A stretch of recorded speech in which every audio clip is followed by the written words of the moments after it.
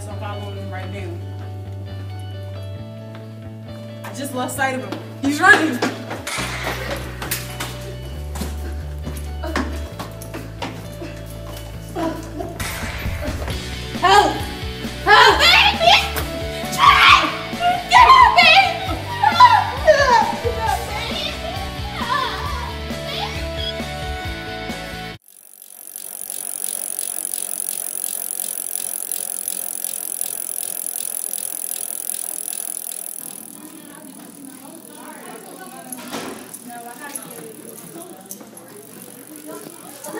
Hey, hey, hey! Wait, wait! You dropped your money. You dropped your money. Oh, really? Yeah. Oh, oh thanks, man. You okay? Yeah, I'm good. I'm You look lost. You got my house right here. Alright, I'm gonna walk you there. and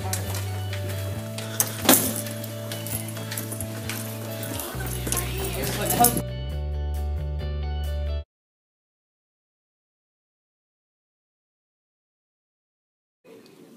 Chavis Carter, 21 years old. Police says that Carter killed himself in the back of a police car while handcuffed. His mother later pointed out that he was left-handed. He was shot with the right. It was impossible and the gun went undetected. The officers were put on administrative leave. Kimani Gray, 16 years old.